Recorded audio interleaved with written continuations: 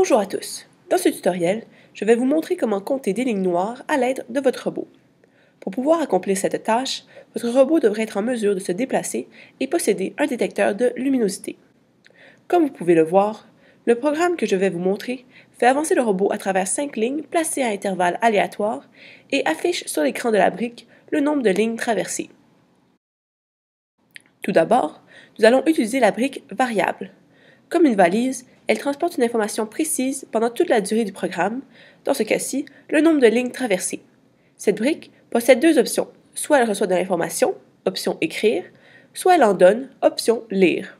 Donc, au début de mon programme, je vais donner à ma valise une valeur de 0, comme aucune ligne n'a été traversée, et je vais aller chercher cette information pour qu'elle s'affiche sur l'écran de la brique. Ensuite, mon robot va avancer jusqu'à ce que du noir soit détecté. Puis, il va avancer à nouveau jusqu'à ce qu'il détecte du blanc. Pour que ce soit plus visuel, la lumière de la brique allume verte sur une ligne noire et rouge le reste du temps. Dès que mon robot voit à nouveau du blanc, je prends l'information de ma variable et je viens la brancher dans le bloc mathématique. J'additionne ensuite 1 et je mets le résultat comme nouvelle information dans ma variable. Puis, je l'affiche sur l'écran. J'espère que ce tutoriel vous a été utile et bonne chance dans votre programmation.